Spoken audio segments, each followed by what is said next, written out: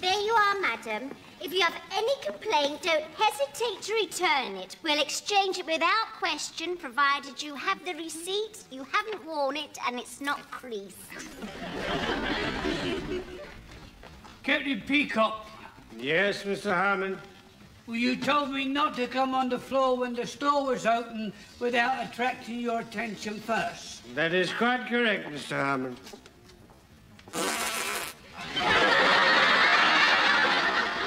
Oh, I see I've attracted your attention. Go back. You've not had my permission. Does that mean you don't want the first prize in Grace Brothers' lucky lottery what your department has won? What was that? I'm proud to tell you and pleased that you are now the proud possessor of a box at Covent Garden for six personages for the ballet. There is the ticket. Oh, how wonderful! Well, last time I had a box at Covent Garden, it was on me head and full of cauliflower. Well, there. There are the tickets for your counter, Mr. Klein. And there are yours, Miss Brahms. Thank you. Oh, Miss Brahms, uh, where's Mrs. Slocombe? Oh, she's in the fitting room taking off her coat. We've been open for nearly six minutes, Miss Brahms. Go and get her. Yes, sir.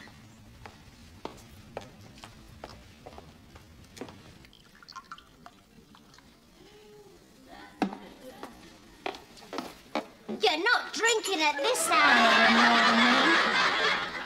Of course I'm not Miss Brahms. I'm just taking Miss Slimming pill. Only I've run out of water.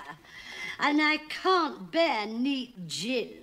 Why don't you uh, take the pill with the plain tonic? Oh, I can't stand the taste of tonic. That's why I'm putting gin and lemon in. Captain Peacock wants to see you.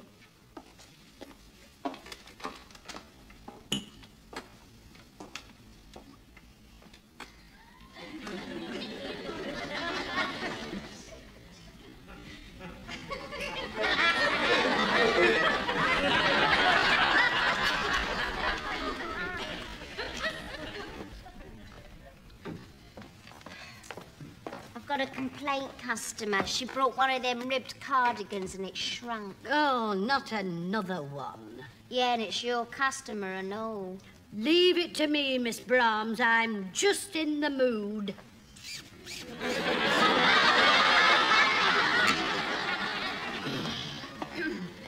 now, madam, and what's the trouble? Well, look at this. I followed the washing instructions to the letter, and look what's happened. And look at the label. It says quite distinctly, non-shrink. Madam,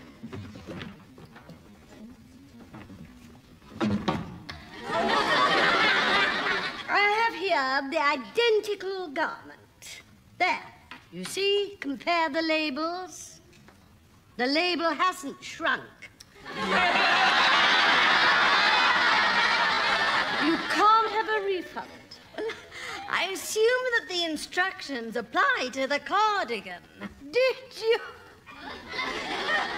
Well, hard cheese.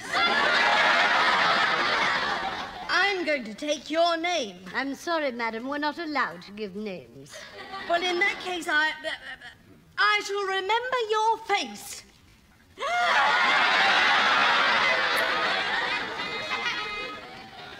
Yeah, that was a bit odd, wasn't it? Well, I'm fed up with them all. Complain, complain, complain. And she just caught me on a bad morning. Did you spend last night on the booze? Certainly not Miss Brahms. I just thought I'd sleep better if I had a nightcap. I mean, you know I've been having these strange dreams lately. Still about Mr. Humphreys? Yes. He's different in my dreams. I'm beginning to see him in quite a new light. Have you said anything to him? No, but I do feel sometimes when I look at him that he knows something. Hey up, she's looking at you again. I know. I can feel the hair standing up on the back of my neck. Do you think she wants something? I hope not. Do you know? I can't think what's come over her. I've only got to give her the slightest hint of a smile, and she goes all wobbly at the knees. Watch this.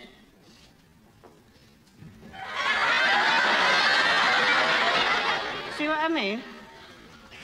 Oh, Miss Brahms, he smiled at me.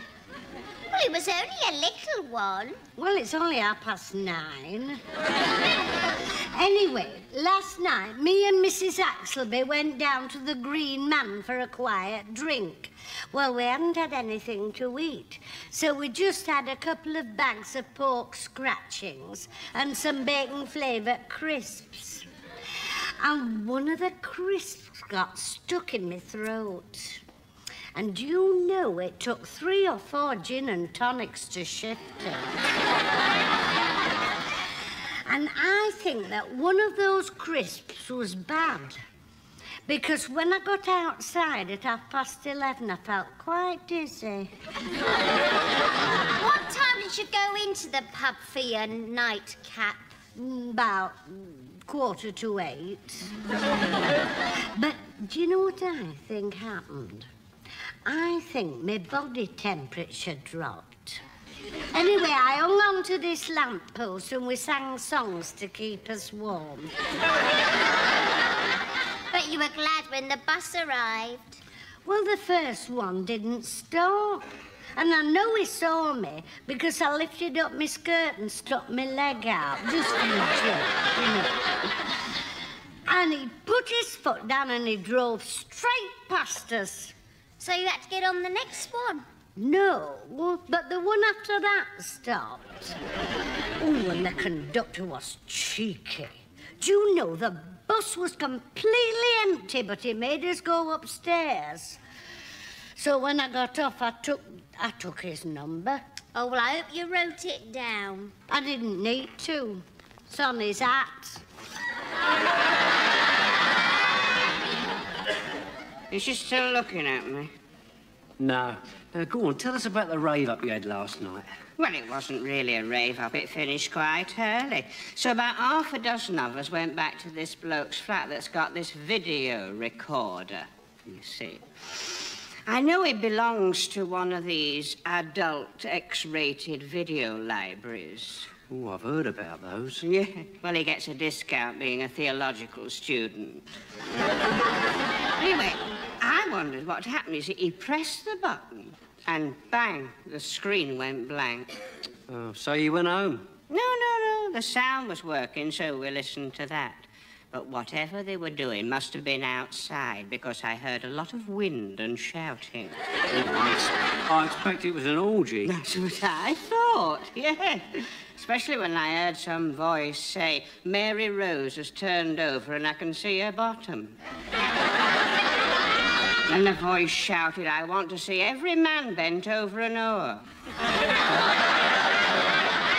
I was just about to take my mother home when I heard this other voice say, Which way do you want us to row, Mr. Baines? And I realised it was the Onedin Line. Where's Mrs. Slocombe now? Oh, uh, she's in the ladies fixing her makeup. She's hardly been at her counter at all this morning. Well, to tell the truth, and I don't like telling tales, but I'm very worried about her. I must say her behavior has been a little strange lately. Well, she says her nerves are bad. She's been having these disturbing nights. You mean disturbed nights? No, disturbing. She's got this man on her mind and she keeps dreaming about him. You know, erotic dreams. Really? yes, they, they do fantasize at that age, don't they? Oh, yeah. I've got an aunt what's got the hots for Richard Baker. And who has Mrs. Slocombe got the uh, hots for? You'll never believe it. Who? Mr. Humphreys. Yes, they do fantasize at that age, don't Has she told him about this? Well, not in so many words, but every so often she drops him a little hint. Look, watch. Look at her, she comes.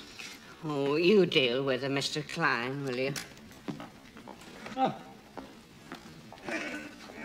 Was there something you wanted, Mrs. Slocombe? Well, I want to buy a present for a rather special gentleman. Ah, well, what do you have in mind? Uh, ties, handkerchiefs, socks? Oh, they're not very romantic, Mr. Klein. How about a nice pair of Y fronts? Shut up. well, I had wondered about a pair of gloves to keep his hands warm. Oh, he has such artistic hands. And uh, what kind of gloves did you have in mind then? Well, just show me what you've got. Size? Well, about. about Mr. Humphrey's size. Mr. Humphreys, Mrs. Slocombe wants to try your hand for size. It's very busy brushing a hat at the moment, Mr. Klein. I'll do that, Mr. Humphreys.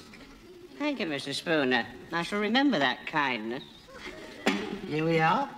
Chinese rabbit, English mole, Venezuelan Scotch terrier, kangaroo, chamois, leather, plastic, string, wool, and, if you'll pardon the expression, pigskin. Um, what sort of personality does the gentleman have? Suede. Ah, well, here we are. Beautiful suede, inside and out. Try them on, Mr. Humphreys.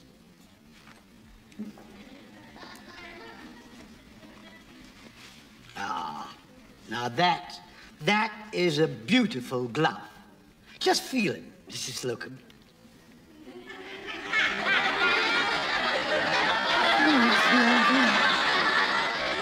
You know, I always say a glove like that really sets a hand off. I think it set her off. We have it in three shades, you know. Uh, what uh, colouring does the gentleman have? Well, fair, wavy hair, startling blue eyes, and a strong, sensitive chin. I wonder why she didn't mention the gap in the teeth. Mr. Spooner, get a broom. The stockroom needs sweeping. I, uh, I take it then you'll settle for these. Yes, put them on my account. It's 22 pounds. Oh, when you've lost your heart to the man of your dreams, what's 22 pounds? 22 pounds is the price of the gloves, plus VAT, minus staff discount. Would you like me to gift wrap them? No, just leave them on him.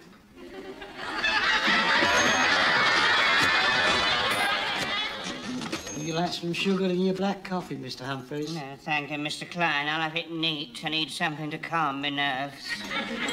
She put it into words then. No, she put it into a pair of gloves. Where has she got to? She's gone to the pub for a. Oh. Do you know, I had no idea any of this was happening. She said a thing about you for weeks. That's why she's been it in the bottle. Well, why didn't you tell me? I thought it would wear off. She's a fine woman. There's a lot of love going to waste there. First time I felt sorry for a cat. I expect it's a new experience for you, Mr. Humphreys. On the contrary, Mr. Spooner, quite a lot of ladies have thought twice about me. the trouble is, it's usually the second thought that puts them off. You know, it seems to me that if we're not very careful, we're going to have an alcoholic on our hands. I think the best way of dealing with the situation is to find someone else on whom she can lavish her affection. That might take our mind off Mr. Humphreys. It's very difficult, you know. When I was a young man, there was this girl with frizzy hair and, and staring eyes and, and fat ankles. And every morning when I, when I got to the station, she was there, staring at me. And then she'd get in the compartment and sit right opposite me, staring. And every night it was the same thing. How did you get rid of her? I didn't. I married her. Now the frizzy hair's gone grey and thin, and the eyes stare out from behind big, thick spectacles. What about the ankles? Don't mention the ankles. I think Captain Peacock's got the right idea. What sort of a mug in Conning to taking notes of that old trout? Spooner, if you continue to speak in that way about a senior member of staff, you'll go and sit at another table. Mrs. Slocombe might be an old trout, but she's got a lot of nice sides to her. Like what? Well, well, she's very kind when she hasn't been hitting the bottle. Hmm, she's not as fat as she was. You're quite right, Captain Peacock. There's definitely traces there of when she used to be quite a nice-looking woman. Trouble is, she's lonely. Well, if she's lonely, she, she ought to advertise in one of these contact magazines. Oh, no, she's too much pride for that. Well, we could do it for her. We could send them in, get the replies, and pass them on to her. I'll write it all down. How would you describe her? Old bat seeks comfortable tree to hang in. I shan't tell you again, Mr. Spooner. I think petite lady. Oof. Hardly petite. Well, she will be by the time she's finished her slimming pills. Petite lady with own home seeks kind, understanding male companion of the opposite sex. That's a waste of words. If he's a male companion, he must be of the opposite sex. In my experience, it's better to be safe than sorry. You have to state what her interests are. They always put that. What are her interests? Pubs and that pussy of hers. Well, to save any misunderstanding, I'll just put pubs. there.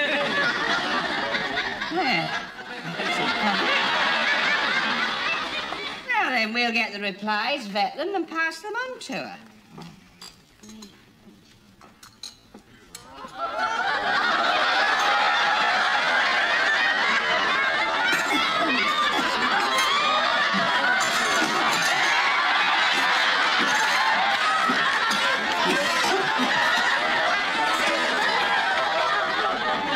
I expect you've been wondering what's happened to me. well, I just popped into the pub for a packet of cigarettes and and on the way back, as I was passing the beauty parlor, they literally dragged me in and insisted that I try this on Afro. And you know, as soon as I got it on, everybody said how it suited me. All you need to do now is take all your clothes off, get on a white horse, and you could ride to the streets of Coventry. As the bride of Frankenstein. All right, I'm going, I'm going. But I'd like to state here and now that I'm being victimised for my opinions, and I shall complain to the Council for Civil Liberties. Since you've spent most of the coffee break taking uncivil liberties, I don't fancy your chances. Thank you, Captain Peacock. Mrs. Slocombe, you've not bought that wig, have you? Well, no, but the sales girl said that as soon as I put it on, the years seemed to just drift away. Wear it round the other way, they'll be right out of sight. I'll coffee out by the, the fire exit.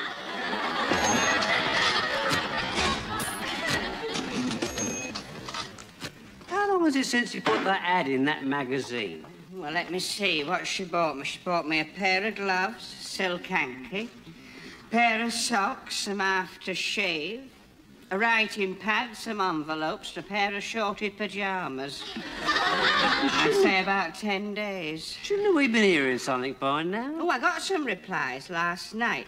I phoned one man. He sounded quite nice. He's coming on his way to work this morning to be introduced. What about the others? Well, my mother came back, and I couldn't very well sit there on the phone talking to strange men, saying, Hello, you don't know me, but. So I went round to the post office. I've sent telegrams to everybody. They go, I've told them to come in here, ask for me, and I'll introduce them.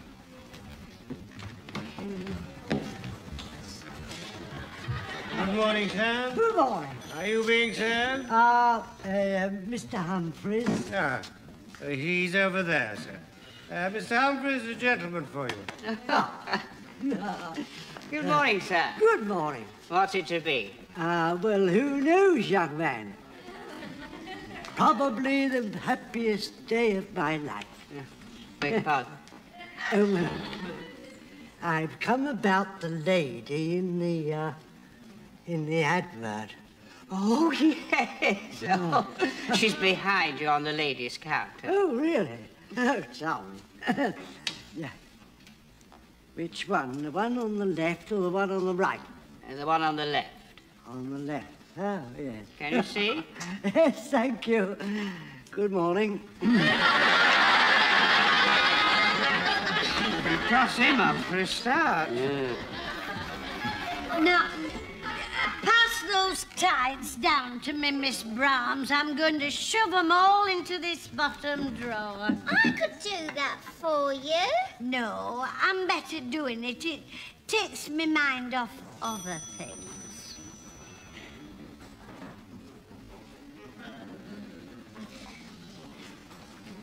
Blimey, look what's arrived. I should never have described her as petite.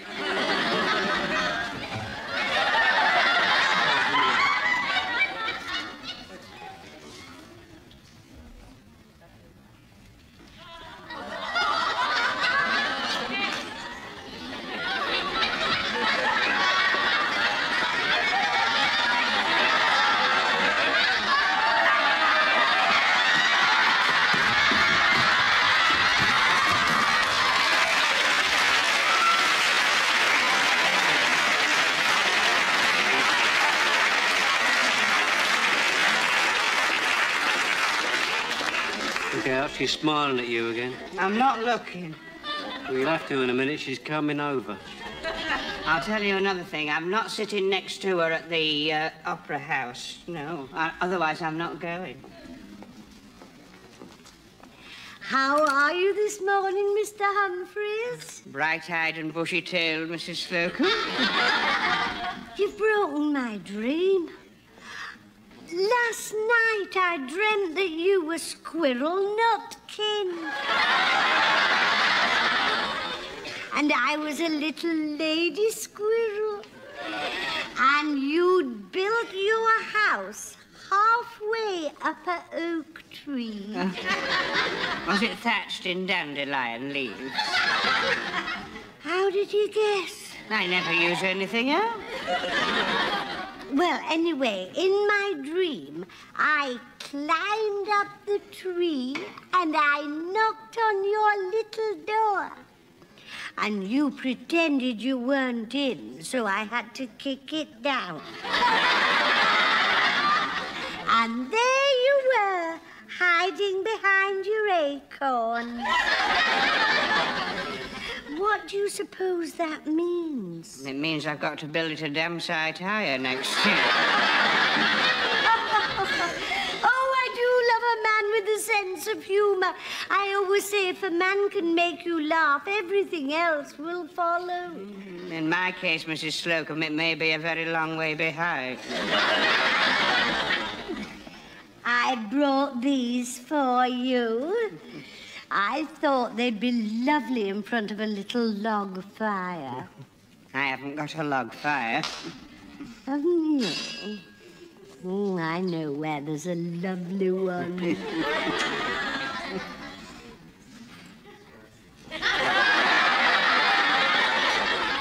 Mrs. Slocombe, would you be good enough to return to your own counter? Mr. Humphreys is not here for idle chit-chat. He's here to serve customers. In that case, uh, I'll have a size 48 nightshirt. Size 48, that's big enough for two. Exactly.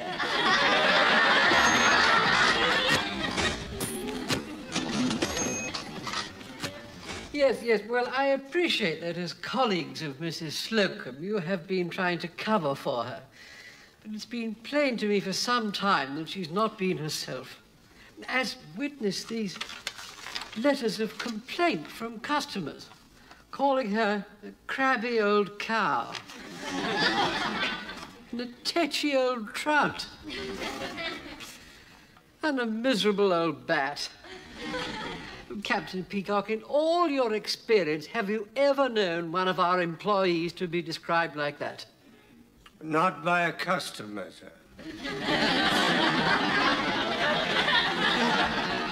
Well, uh, the reason for all this becomes clear upon the discovery of these items. Gin and... Uh,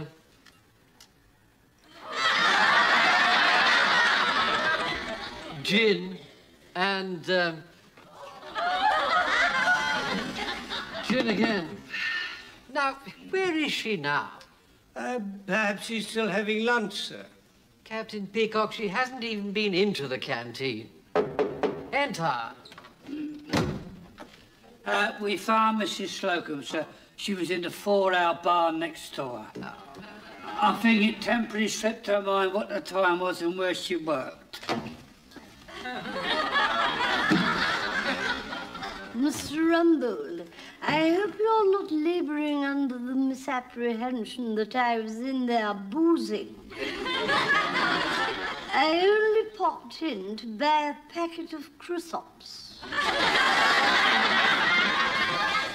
Mrs. Slocombe, without doubting your word for one moment, would you mind blowing into this bag? Certainly, Mr. Rumbold.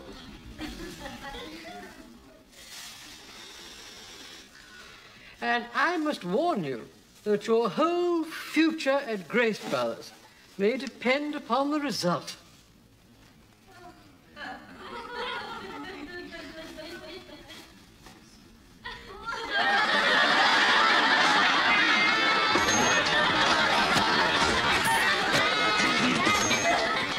Only another hundred yards to go. Keep at it, Mr. Grace. Oh, there we are. I've got a surprise for you. You've been doing it on your own for the last five minutes. Oh, You get used to that sort of thing at my time of life. Come along, you should be feeling fit and healthy now. Oops.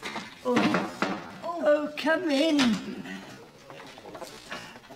There's a bloke outside wants to sell you a medical chair. A medical chair? What's that do? Well, it's electrically operated and it sort of relaxes your limbs. Like you sit in it, switch on, and it makes you do this. I do that anyway. Tell him to go away. Oh, all right. Go away. Mr. Grace, the first floor say if you want them to wait outside any longer, could they have coffee and sandwiches? Oh, tell them to come in. Come in. After you, Miss Mount. Rumbold, get in here immediately and bring that medical report with you. Well, get on with it. Uh, yes, sir. Um, as Mrs. Slocombe's behaviour was so at variance with her normal character, we had the case examined by an eminent psychiatrist. And, well, sir, what in effect he says is that Mrs. Slocombe appears to have built up a fantasy world for herself. And in this world, she's deluded herself that she's in love with Mr. Humphreys. Now, as Mr. Humphreys has failed to respond, understandably, Very understandably. Mrs. Slocombe was taken to the bottle. I didn't need to pay a hundred quid to hear that. What's the cure? Well, sir, the, the, the psychiatrist says that in his experience, when fantasy turns into reality, it often fades away. Ah, in other words, if Mr. Humphreys had a go at her, she'd run a mile. Yes, sir. There's no problem then, is there, Mr. Humphreys? Well, I must confess, Mr. Grace, I would find it very difficult. Well, just pretend she's that girl that I get so excited about in Dallas. Uh, what's her name? Sue Ellen. Oh, oh, my leg's gone. Thinking about Sue Ellen wouldn't necessarily help me. How about J.R.? Do you always go like that when you think about JR? No, it's not him, it's that hat. But it, the fact remains that if Mr. Humphreys could steel himself to, as it were, make a bold advance, the shock might cure her. As I'm sure none of us wants to lose Mrs. Slocombe. Oh, no, we're all very fond of her. So I'd have to find the right place and the right moment. The- How about the, in the box at the ballet tonight? You can pretend it's the back row of the pictures and, you know, get in there. Whee! It'll be better at Covent Garden because the usherettes there don't have torches, so you can get in there and way hey. What ballet are you going to see? The Nutcracker Suite.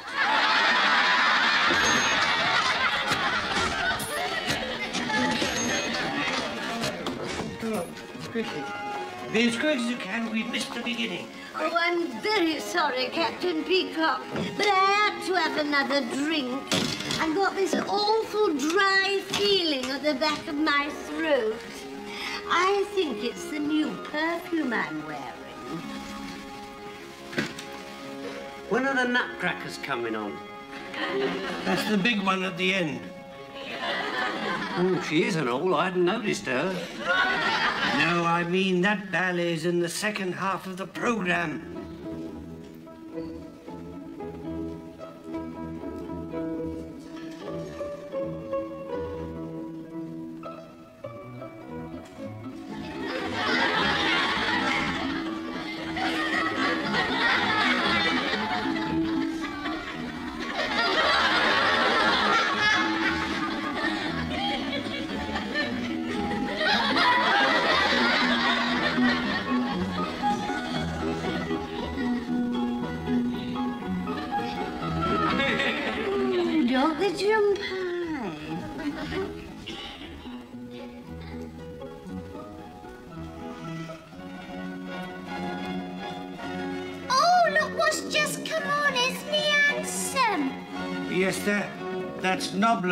He's very big in Russia. He's pretty big here, too.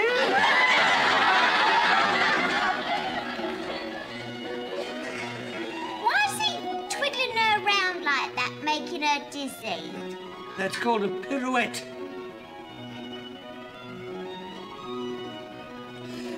Uh, That's called an entrechat. What's that? Well, it's French. All, all the terms in ballet are in French. The entre, as in entre nous, means between. And what's the other bit? Well, uh, C-H-A-T, pronounced cha, means, um... Oh, I know what that means. It's French for pussy. You see what he's doing to her, it must mean something else. Shh, be quiet. Have they all forgotten the words? They don't have words in ballet, you ignorant buck. Why's she wagging her finger at him like that? He, she's rejecting his advances. Oh, she'd have to do a damn sight more than that in Catford.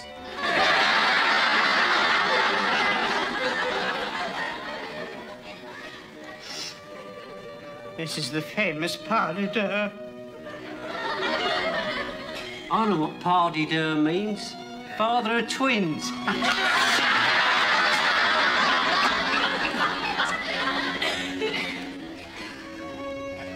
Mr. Hum- Mr. Humphreys.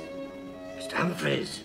I, I don't want to spoil your evening, but we sat you next to Mrs. Slocombe for a purpose. You have spoiled my evening. What do I have to do? Act like the man of her dreams and give her need a tickle. How do you mean? Like this. Go on.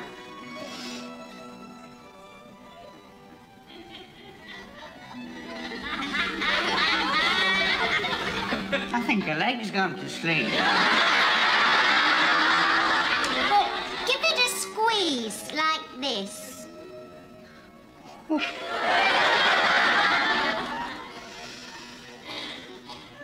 Go on then. I'm sorry, my mind was wandering.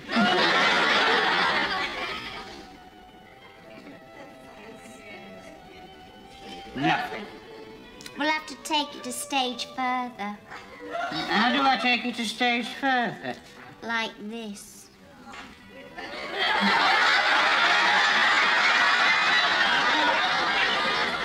I can't do that to Mrs. Slocombe.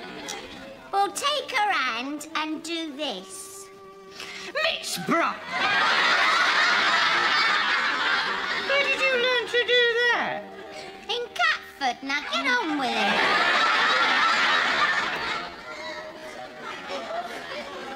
She's dropped off. Surely she hasn't been drinking in the box. No, out of it. Liqueur chocolates. Well, Mr. Humphreys, it would seem that for the moment your problems are over. On the contrary, Captain Peacock, they're just beginning.